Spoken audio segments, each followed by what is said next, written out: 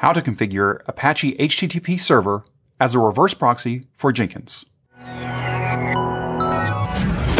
There are a few reasons why you might want to use a reverse proxy with Jenkins.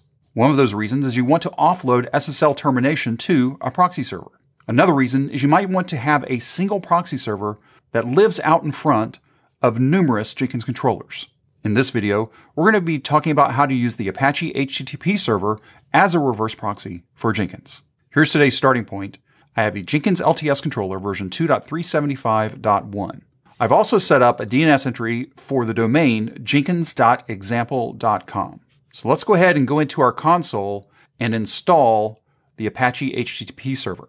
So I'm going to say DNF dash Y install HTTPD. Now, depending on your Linux distribution, the name of this package may be different. But for Alma Linux, which is what I'm using, the package name is HTTPD. We'll hit enter, and now the installation is complete. Let's go ahead and check the status of HTTPD. So we'll say systemctl full status HTTPD. We can see the service is set up, but it's currently not running. So let's go ahead and start the service, systemctl start HTTPD. Let's run the status check again.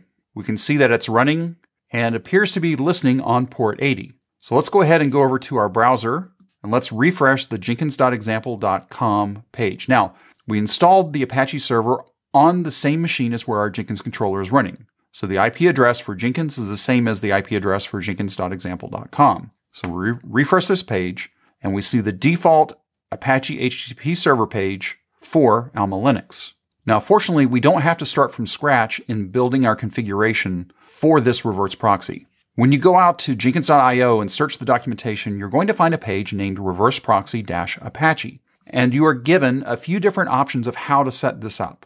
For this video, we're going to be taking a look at the mod proxy configuration. You could choose to follow the other configurations depending on your certain scenario. But for my example, mod proxy is fine. So what we're going to be first making sure is that we've got proxy, proxy HTTP, and headers all installed. Now, for Alma Linux and for any of the Fedora-based installations, all of those come installed by default. So to set up our proxy configuration, we're going to copy this and make some changes to this configuration. This configuration assumes that Jenkins is running in a subdirectory called slash Jenkins. But in our case, Jenkins is running at the root of the server, so no slash Jenkins as defined here. So in order to set up this configuration file, we're going to go back into our console and we're going to cd to etc httpd conf.d. And we're going to create in this folder a jenkins.conf file. And inside of this, we're going to be putting in our variation of what we just saw with proxy pass. Now, unlike what we see in the documentation, we can see we see a slash Jenkins here. Here we have just localhost 8080 slash. Now in the documentation, it's showing 8081. Well, that's also assuming if you go ahead and read some more of the documentation, it assumes that Jenkins is running on 8081. But in our case, Jenkins is running on 8080. So we've gone ahead and shortened up and removed the slash Jenkins off the end of this URL. Notice that we also have a trailing slash.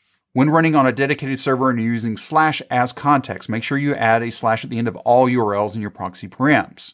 So if we were to leave off this trailing slash for these proxy params, then this would not work. So I have a proxy pass slash that's proxying to localhost 8080 slash. We also have a proxy pass reverse, again, same with a trailing slash.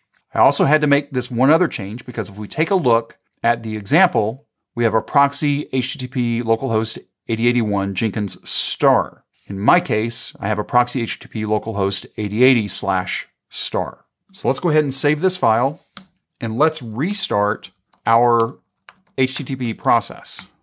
Let's go ahead and verify our status one more time. So we'll say status. We can see that it's loaded and running and everything looks successful.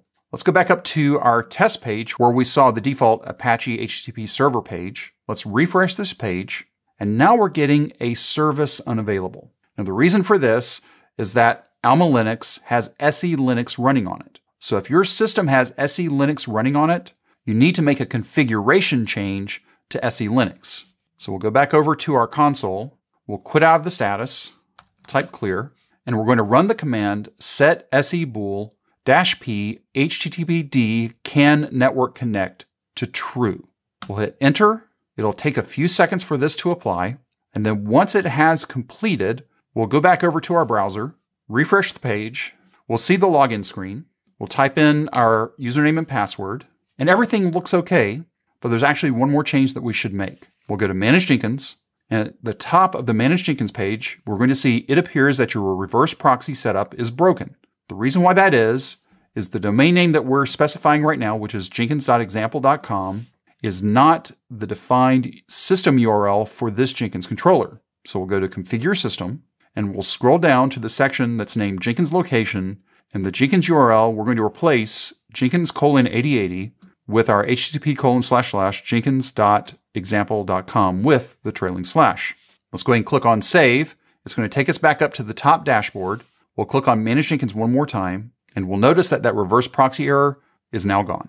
If you have any questions or comments, you can reach out to us on Twitter at CloudBees. If this video was helpful to you, give us a thumbs up. And if you haven't subscribed to CloudBees TV yet, why not?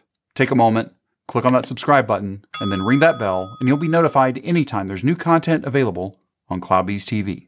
Thanks for watching, and we will see you in the next video.